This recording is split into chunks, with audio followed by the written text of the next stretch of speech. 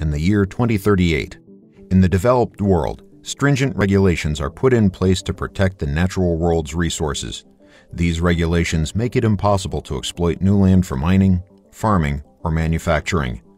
In the face of these regulations, efforts turn to improving the efficiency of existing assets, and this gives rise to the extensive use of 3D printing and D-printing, the ability to disassemble finished goods and reuse their materials and printers to create new products. Given the constraints on materials and energy, knowledge of customer wants and needs becomes critical, and companies spend large amounts of time and money mining massive data sets. Managers turn to extensive use of simulation to maximize resources as well as software to efficiently manage projects. As access to natural resources becomes constrained in developed countries, Africa's unleveraged farmland, minerals, and fossil fuels become a critical world resource. Unsaddled by legacy power grids and factories, Africa leapfrogs the West in development of the new manufacturing economy. Massively open online courseware allows African students to excel in the sciences by having access to the best educators in the world at virtually zero cost.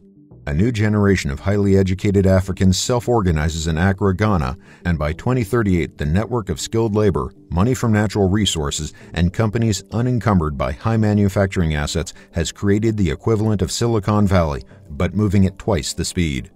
This signals a shift from permanent employees to renting capabilities as needed. Managers work with large guild like talent pools to source the right expertise in this fast growing market. To respond to rapidly evolving customer needs in this growing market, the value proposition for research moves toward the fast identification of customer needs. The results are accelerated concept to market projects. This scenario is just a short 25 years away. How does this impact us today? Go to IRI's website to explore this and other scenarios in more depth, learn about implications for research and technology management, and view more products from the IRI 2038 project.